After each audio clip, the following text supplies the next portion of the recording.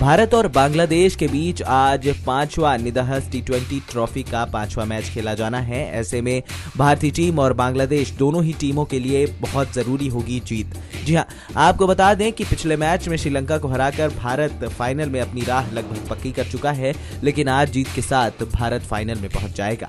आपको बता दें कि बांग्लादेश ने भी पिछले मैच में श्रीलंका को 215 रन का लक्ष्य हासिल कर पस्त कर दिया। ऐसे में बांग्लादेश के भी हौसले काफ़ी बुलंद हैं। तमीम इकबाल, लिटोन दास और मुशफिकर रहीम शानदार फॉर्म में हैं। ऐसे में भारतीय टीम कॉम्बिनेशन काफ़ी निर्भर करेगा रोहित शर्मा पर।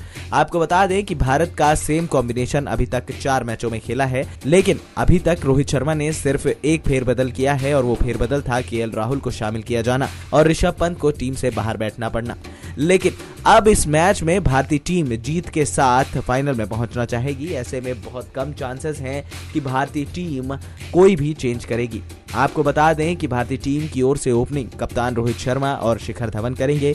तीन नंबर पर बल्लेबाजी करने सुरेश रैना आएँगे, जो कि टी फॉर्मेट के सबसे बेहतरीन बल्लेबाज हैं। चार नंबर पर पिछले मैच की तरह के राहुल को ही मौका दिया जाएगा और उसके बाद फिनिशर की भूमिका में शानदार परफॉर्म कर रहे मनीष पांडे को पाँच नंबर पर बुलाया जा सकता है।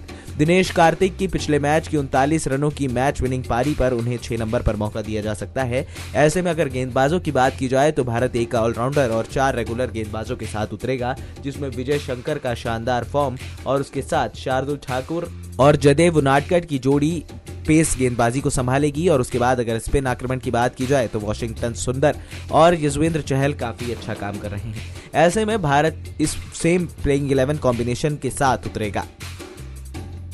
नेक्स्ट नाइन स्पोर्ट्स डेस्क की रिपोर्ट